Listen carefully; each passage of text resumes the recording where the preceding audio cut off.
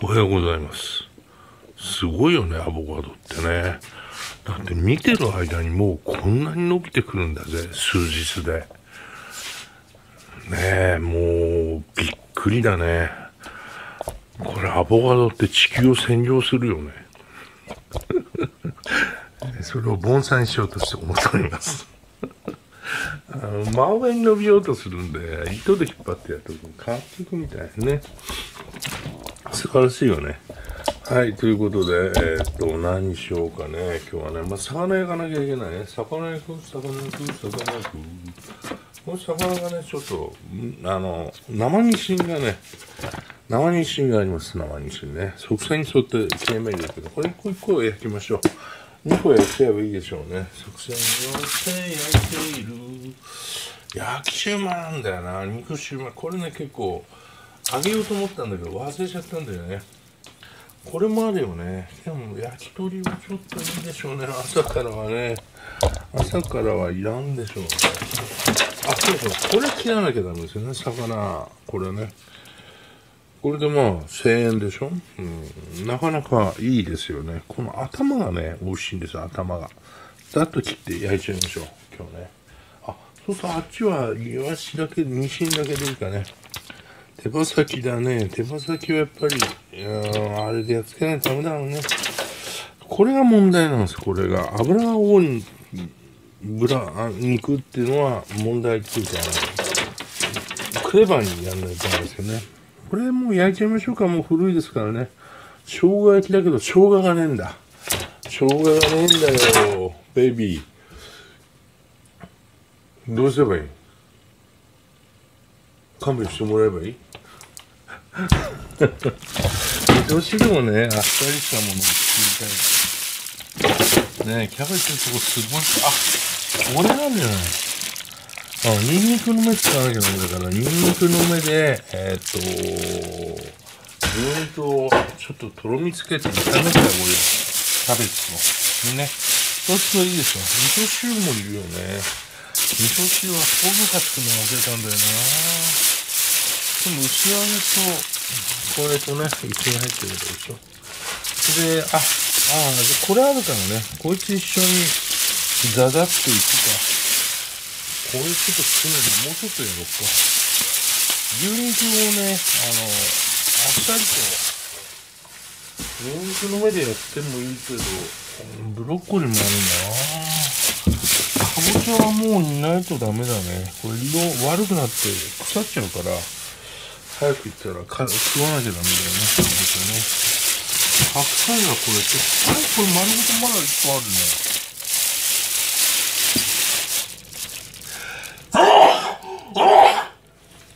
ああ、アクションが2回出ました。どうしようか。白菜をロールするか？牛肉ロールにするか？そういうのありかな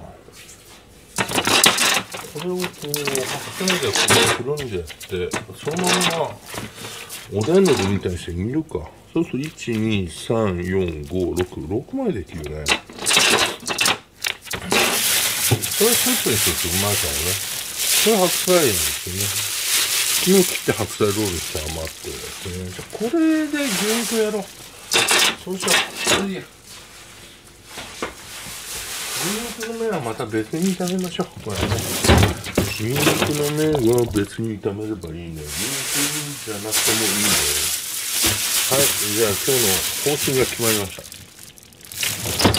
えーと、じゃあまずは魚焼いて、豆腐ねえよな。豆腐はいらねえな。こういう時が一番楽しいよね。皿を数えてさ、どうしようほら、鶏肉。ね。これはあれですよね。夢の、夢の菓子パン。ね、菓子パン。この間大喧嘩になりましたね、うちの奥さんとね。菓子パン高いところって言ってた。ああ、なんで怒ることが分かってる言うかね、わざわざ。うん。まあまあ。人間はなんかいろいろ意図があるんだよね。マイクロバイオームという意図があるんだよね。あれもしかしたらなんかちょっとこうじゃねえのっていう仮説を今考えてるんだけどね。でもあんま昔のことをこれで言うとあの後世に残るからね。あいつバカだって。いやもう残ってねえよ。どうしよう YouTube 動画飛んだら。データほとんど撮ったんですよとんでもないことほとんど撮ってあるんだけどさ。はい、えー、じゃあちょっとこれはねこうやって。はいやったーハサミとかもうなくなってたなぜかほら味噌汁がちょっと残ってんぞ味噌汁残ってんぞ食うかまあ捨てるわけいかないねもったいないもったいないもったいないねこれはここに入れましょう。また飲めますからね。舞ちゃんのご飯にしてもいいんだけどちょっと味噌汁あそうしようか。これ前のご飯にしようか。そうしましょう。これ前のご飯に持っていきます。味噌汁にご飯入れてあのなんか食わせたんですよね昔。あの G1 社にね。それでなんかね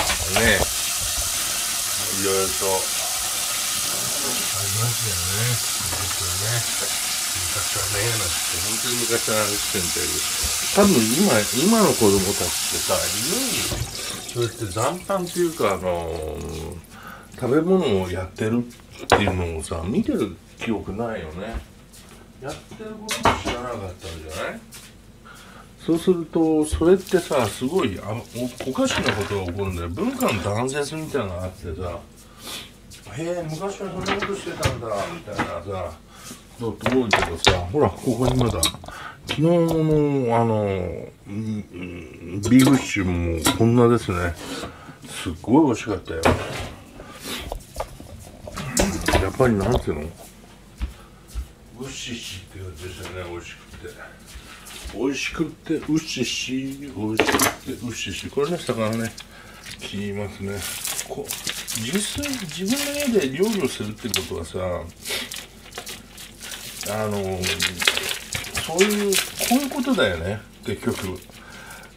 いろんな食材を買ってきてそれをまずどう食うかっていうことを考えてその上でこれこうやっていろいろと使っていくってことだよね。もうだからこういうのスーパーで売ってても使い方わかんない人がすごく多いわけで。そうするとどうやって食っていいかわかんないね。これマスですよね。マスの生き物のマスですけどね。ここなんかは絶対にどこでも食えないから。でもすげえうまいわけでね。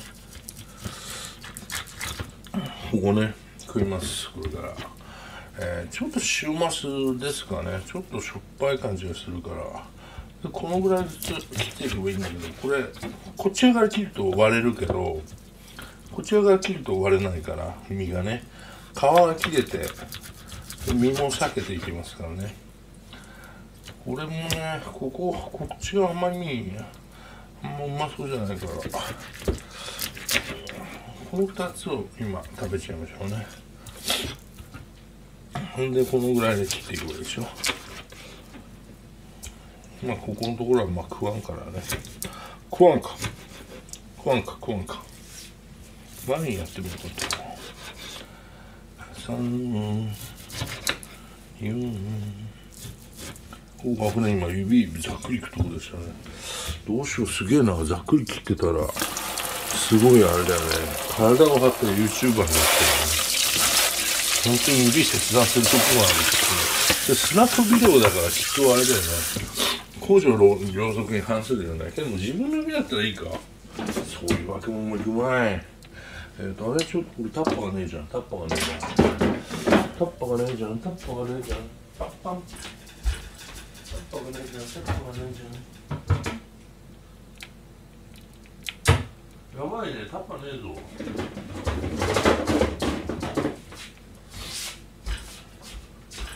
ちょっと大きすぎるよなこれだとな高さがありすぎて風海なんだよね。風海だよ。えーっ、と風海な。まあいいや。じゃあこっちにねじゃあ残ってますからね。このねタッパーでです。これで息残ってますからね。早すぎないなこっちですねはい決まり。うん。早くこれはねいつも洗っとくと洗っとかないとダメなんだけどさ。なかなか洗っとかないんだよね。はあこうやらなきゃやらなきゃと思いながらできないでいるっていうのはやっぱり人生のいろんなことと一緒だよね。いろんなことってなんだろうね。あんまりよくわかんないけどさ。早くさ何焼いたろうすごく油が飛んでるね。あニシンだ。ニシンは油飛ぶんだわ。ニシンはすごい油の多い魚でね。その分美味しいと思うよ俺は。ニシン生ニシンっていうのは特にね。苦手ニシンで干してるやつっていうのはさガラガラガラ煮て油落としてやって。それから食う焼く煮込むけどあれも美味しいけどね。じゃあこれとこれをまずは焼こう。これ手前がいいかな。そんなに熱入れなくていい。こうだな。はい。でこち側からニシンを。ねこれニシンですね。こう側線に沿って入れてあるから間割れていきますからね。奥からいきましょうね。鮭を入れてやっとうかね。でマスをちょっとこっちにまずは入れてやって余った分こっち入れましょうかね。マスはこっち側にね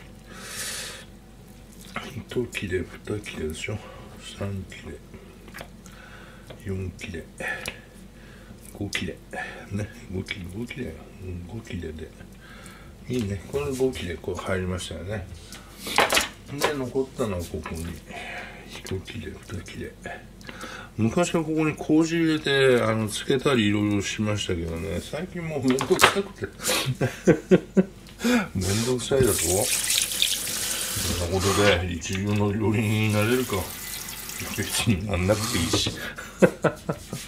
毎日魚焼いてるだけでいいんだからさ。これは必ず毎日焼きますよね魚ね。焼かない日はないんじゃないかな。焼かない日はなし。いや何それ屍拾うものはなし拾うものなし。てんてんてんてんてんてんてんてんてんてんてんてんてんてんはいじゃあこれ今しまいますね魚がしまわれちゃったな次は何をやっちゃうかな冷蔵庫って偉大だよね電気がパチッて切れたらどうすんだろうどうもしねえろ終わりだよねえどうなんだろうね。冷蔵庫なくなったら文明社会崩壊するかもね。まずあの食品を流通させて商売してる人たちもうダメですよもうみんな塩漬けの世界になるからさ。冷蔵庫僕は今考えてるのは冷蔵庫。それから水洗トイレとエレベーターでね。の3つのイノベーションっていうのは今の社会を作ってるなって思いますよね。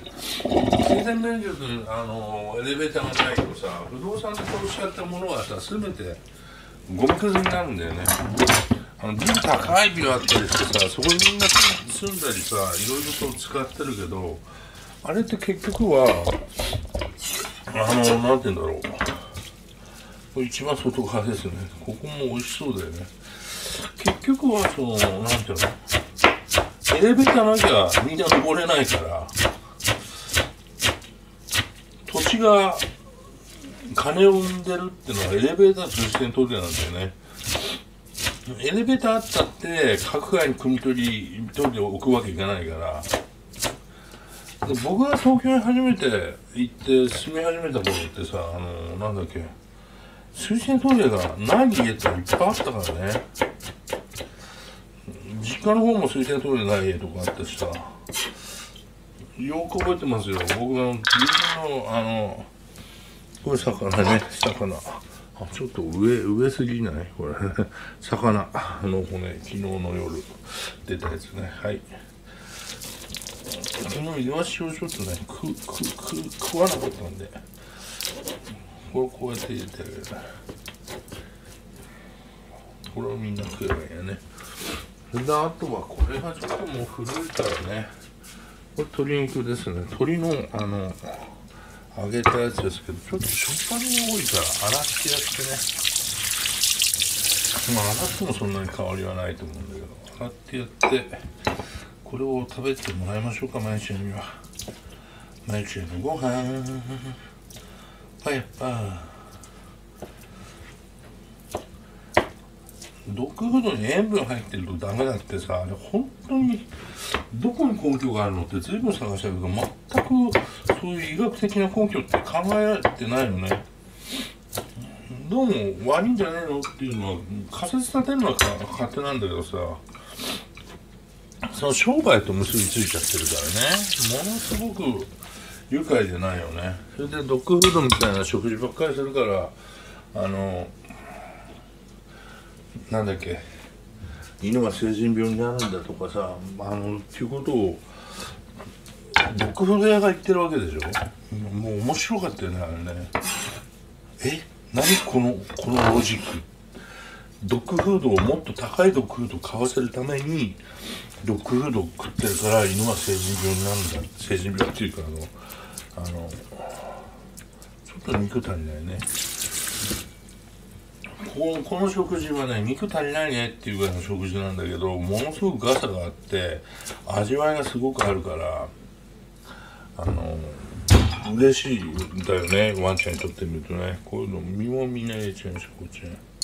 ちょっとしょっぱいのはやっぱりうん。うまい。ちょっと肉が足りないからね。肉を入れてやろう。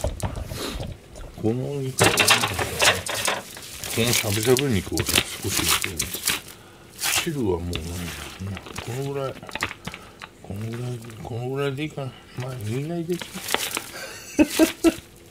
大盤振る舞い大盤振る舞いだね。はいじゃあまゆちゃんのご飯。はい大盤振る舞いしましょう。これねこうやって。これを煮てやると前のご飯ができます。豚肉にあるしね鶏肉あるし魚の骨はあるし。これ絶対そこはあのあれだよ。若造なんかがコンビニで食ってるものよりもはるはるかにいいもんだよ。はいじゃあ煮ましょう。はいじゃあ次行って進みましょうか。ましょうか。ましょう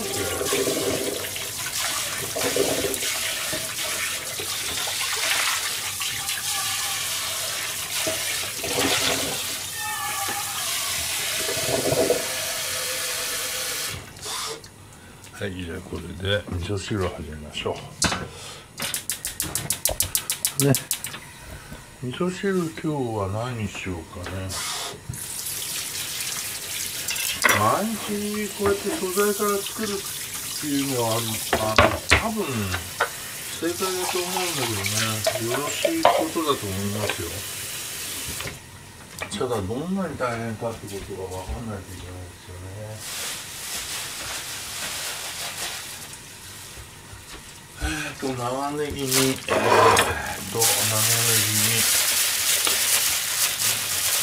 で僕が今一生懸命やっててる一生懸命っていうか毎日作ってるのっていうのはみんなの食事を作るっていうのは一個大きな目標が目的があってそれって結局はばあちゃんがずっと作ってきた食事のシミュレーションですよね。おじいちゃんが喜ぶ食事っていうのはおそらく50年前は私たちの社会でああ危ないもう悪くない社会で食べられてたような食事と一致するんだろうなと思ってて僕はその時代っていうのは生活習慣病っていうのはあまりない時代であまりないっていうかあの食事に起因するさまざまなそのなんていうの臓器間のネットワークの臓器間のネットワークの不具合っていうのがあまりなかった時代だと思ってるんですよね。食事に起因する臓器間のネットワークの不具合なかなかいいこと言うじゃないぱやっぱ少しこれ前ちゃんのまあましょうかねはい。ネギはさすがにあげないけどね。これキノコとかもあげちゃいましょう。今入りましたキノコ。あそれでも入りました。これちょっと量多いね。どうしようこんな多くて。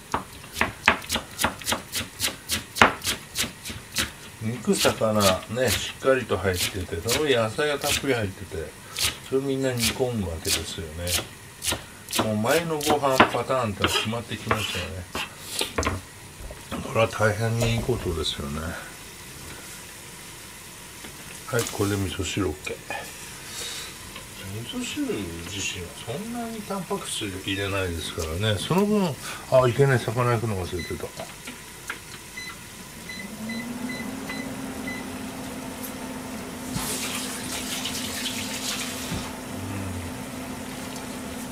はいこれねちょっと量多くないかい？肉もたっぷりだぜ。白菜がいっぱい入ってるからね今日ね。でこうやって肉の汁が出てって白菜が吸うから全部美味しいんだよ。それで白菜の中に入ってるさまざまなマイクロバイオームたちもちゃんと生きたまんま来るから。で魚の骨が入ってるでしょ？ドッグフードなんかじゃできっこない技だよねこれね。生命っていうものをちゃんとこう受け継ごうとしてるでしょ？食物連鎖っていうのは何かっていうと自分が食べる食事の中にいる細胞生命を自分の身体のというコロニーの中の細胞生命に受け継げさせるっていうね。そういう目的で食べてますからね。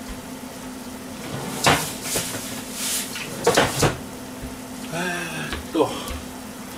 どうしようかね。これはあとは。うんと。味噌汁ってあとかぼちゃだったんだ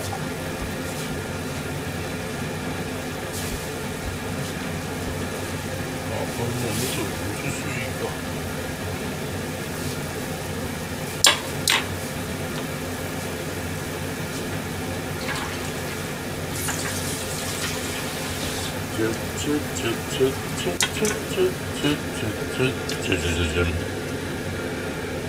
死してしかばね拾うものなし死なねえじゃんおめえらほやパーまたうちの上に入れるの忘れたなんかこの下に書いとくかでも下に書いといても見えないよあそうだよねどうしようアレクさんに頼んどくか明日の味噌汁の中にあの内豆入れるの忘れないように一言言ってくんないとね。でも終わってからね「松江さん忘れましたね」とか。そういうこと言いそうじゃないですね。あいつって知り合いかよ。これぐらい AI に強い人間はいないよ。うちのおばあちゃん愛だったから。あ涙出そうはい。えー、うんうんうんうんうんうん嫌いなそのぐらいやってみろって言うんだよな。死んだ人の心を俺に伝えてくれよ。やっぱやっぱああうまそうな味噌汁じゃの。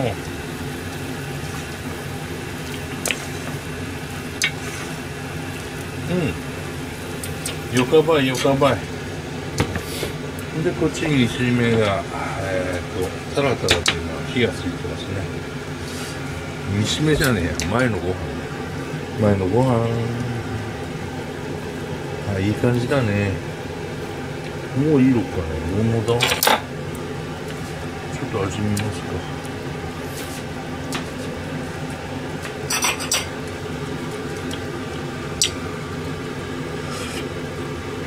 あ今日の前のご飯美味しい。えー、なんでこんな美味しいの今日は？何がうまいかな？不思議ですね。ちょっとまいちゃんのご飯今日ナンバーワンナンバーワンです。はい。えー、えー、じゃあお酒を沸騰さして。ちょっと多いね。失敗したな。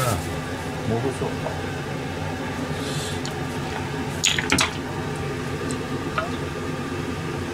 こっちの瓶から入れた方がいいよね。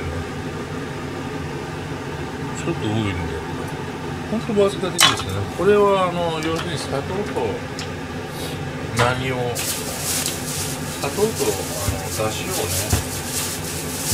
合わせるためのものなんでね。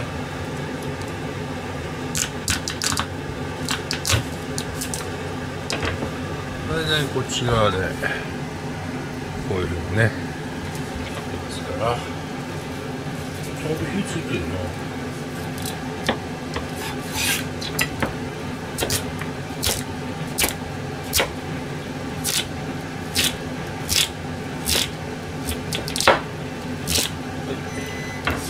でこれが砂糖ですから。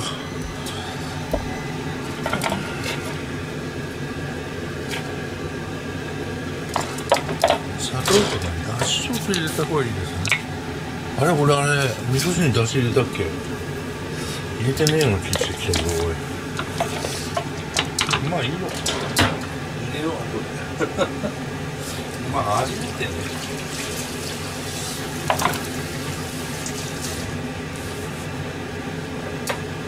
そういうのとちょっとだけ入ってればいいね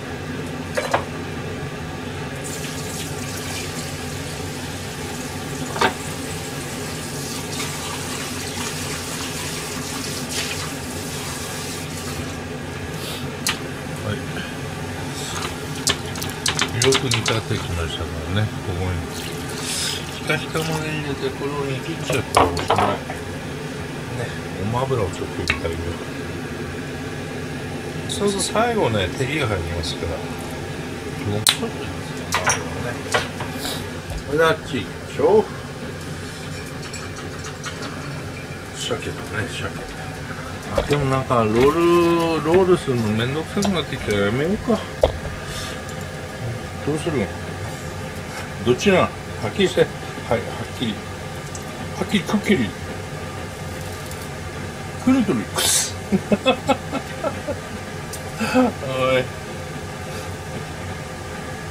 はいなんとか坊さん。午後なんとかね。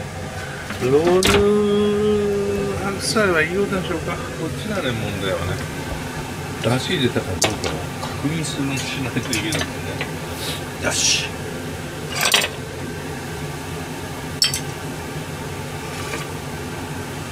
あやっぱ入ってんねや。っぱ入ってないと美味しくないね。今から入れておきましょう。要するに水溶液に入ってるかどうかってことですからね。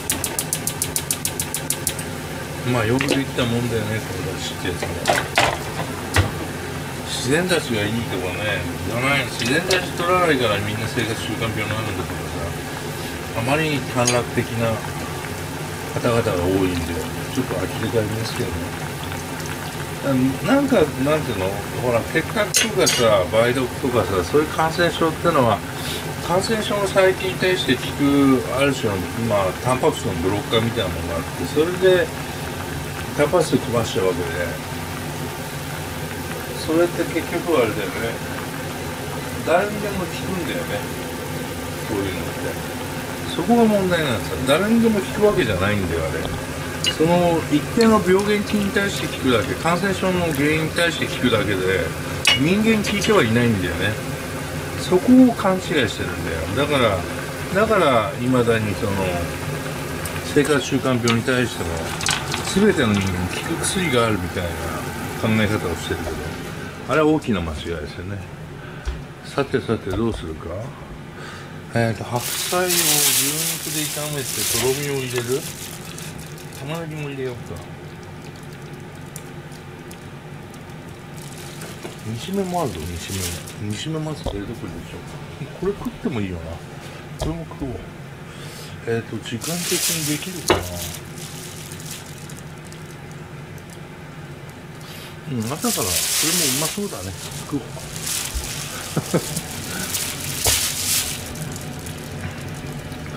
食おう。食おう。食おう。食おう。食おう。食おう。こう。こう。こう。こう。はいやっぱはいえー、とここでまずでかぼちゃまだ煮てます牛肉は、えーと、別鍋でゆっくりと炒めてあげてそれでそれを白菜のこのねうまそうなやつとさっと合わせてあげよう。でえっ、といいことにしよう。すごい美味しい小さい方があんま使い道ないからね。大きい方を残して小さい方をちょっと食べよう。かなああれだね。ニンニクねあった方がいいかなニ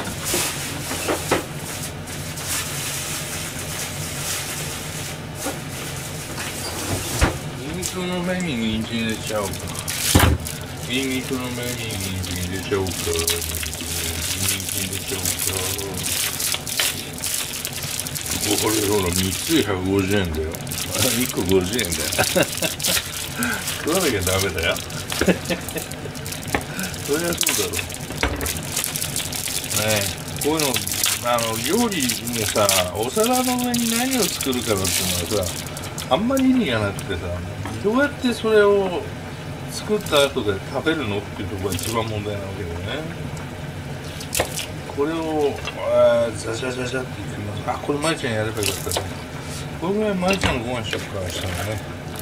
明日の舞ちゃんのご飯に肉の目が入ります。明日の舞ちゃんのご飯には肉の目が入ります。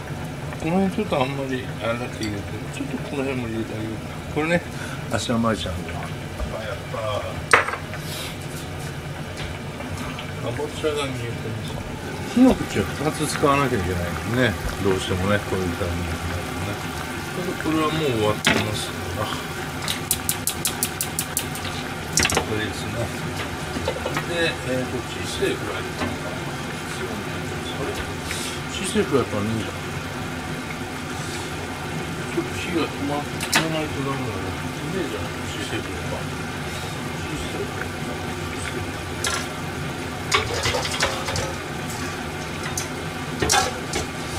なんか大きいフライパンにしようか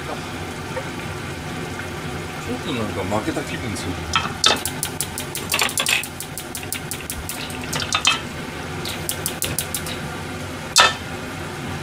あちちあち。ち予定してたものがないとねちょっと負けた気分ですよね。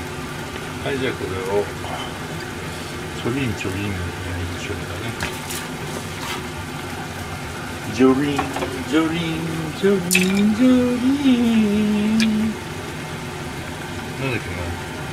私の男を取らないでって曲だよね。あれねいやー色男冥利に尽きるよね。女の人にこう行かないでなんて言われるとさ。いやでも相手による？ダメだそれ。もうやめ。さっきは。ね。そっから先はもうやめ向こうもそうだよ。もう油をこうね出してあげて。最後片栗粉でシュッて固めてやると美味しいですからね。で牛肉はねやっぱりしょっぱめの方が味はうまいと思うんだよな。オイスターソースで甘めに出した方がね。でもそれもまたどうかなっていうところもあるし赤ワインでやってるっていう手もあるし何がいいかさようわからんね。今日はちょっとこれと赤ワインでいきましょうこれね。焼肉のタレがありますからこれもうすごく甘いですから。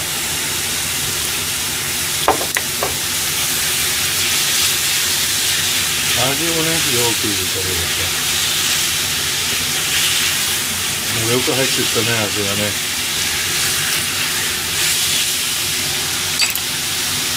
伸ばしたらいいね伸ばすこの時はあの床から甘みうまみをこう持ち上げるためですねちょっとを入れてやるといいんじゃないですかこのぐらい入ってるともういいやねこのこのこのスープ自身がね美味しくなりますからでこの絵でちょっと煮ますからね煮ますかはい OK ですねはいじゃあこれは後で使います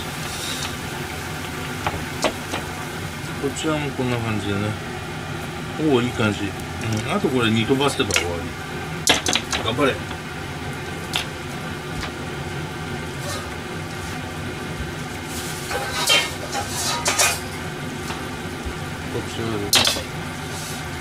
こっちこっち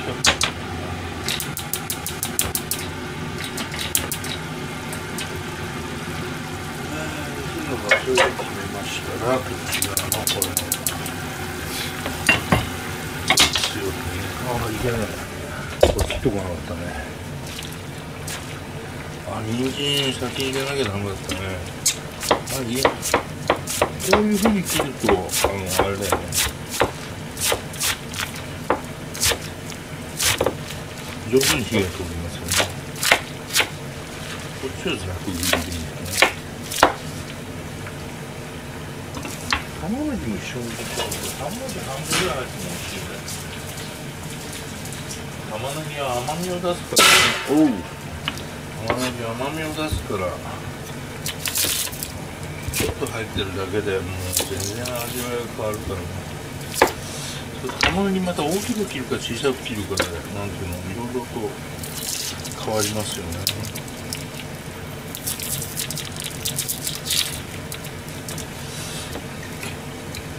今日ちょっと大きめに切ってみましょう。ザグバラに切ってあげて。こっち側が一気になりますね。これ刃物だからな。ニンニクがどうかな。あよくわからん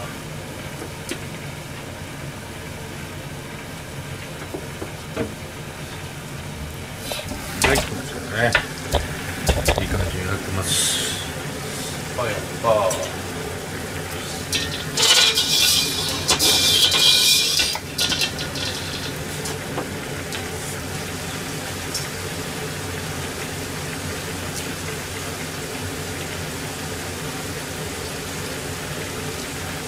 ここで一生懸命熱くしておく方がいいよね。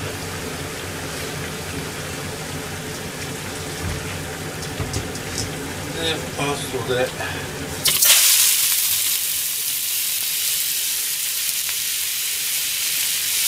れは向いてますからね。うまそうじゃない。熱くなってるところにあの油が、ま、巻きますからどんどん水が出ていってねそれでうまそうに見えますね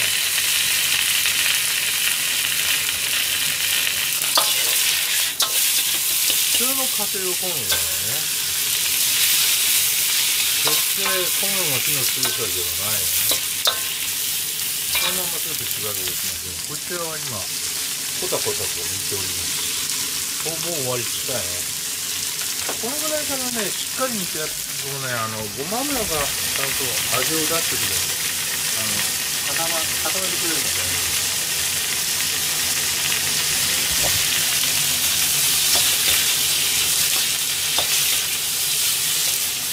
玉ね。ぎの辛い匂いがねなくなってきたら大体終わります終わりねっていうか終わるわけじゃないんだよね水がいっぱい出てくるんで煮ることになってちょっとあんま美味しくないから煮ないようにねこれをこう煮たりましょうかこれが美味しいと思うよね白菜の中はねはいやっぱ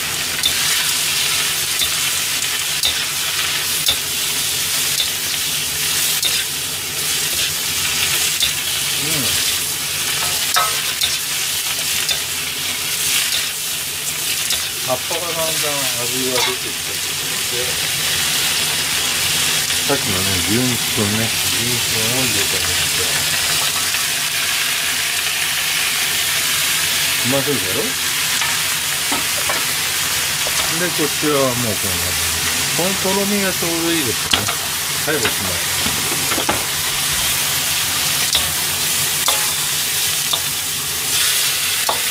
牛肉のね、うまみがスープを通して、えー、入っていきますね、この中にね。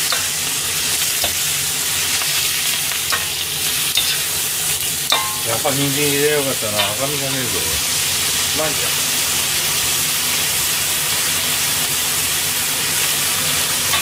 で、ここに、水で、水と片栗をね、入れるんだけど、うちはあの水と片栗は、別にいっぱい作ってあるわけじゃないんでね。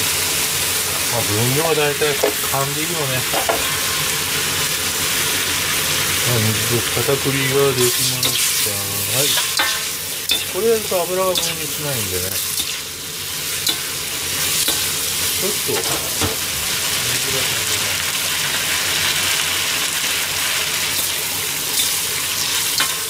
腹振りは覚えて当然水足りないとね。そうです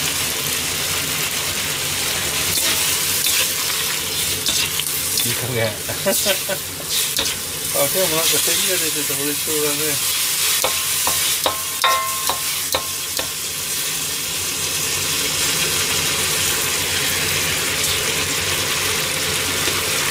うん。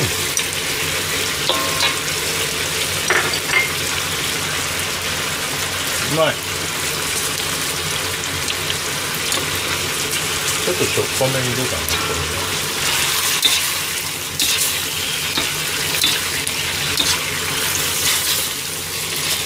もう少し手羽を辛くして出来上がりだねうまそうじゃろ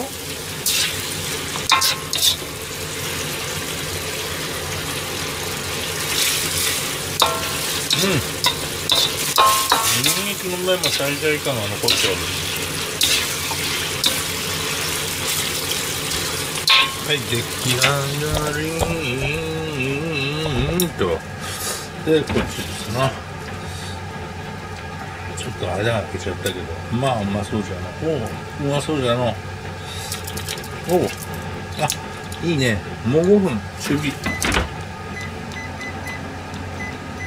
弱火でいいな、うん、はいということで、えー、東京の朝ごはんの準備できました。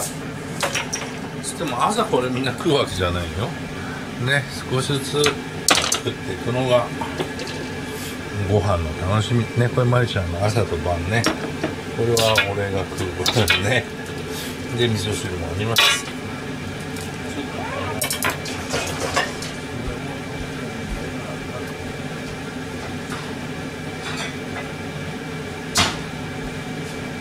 野菜がねすごく美味しく食べれますよね。中華料理の本数ってのはなんかこの野菜を美味しく食べるとこにあるよね。こってりどうのこうのとかなんかよく言う人いるけどさ。僕はもう中華料理ってのはこの最適加熱で美味しい野菜が食べれるっていうところだと思ってるからね。もうちょっとニンニクの麺いっぱい炒めたものかもしれないですね。ということで、えー、皆さんも美味しい一日を過ごそうじゃございませんか。まあかぼちゃもちょうどでしたへへほやあじゃあねバイバイ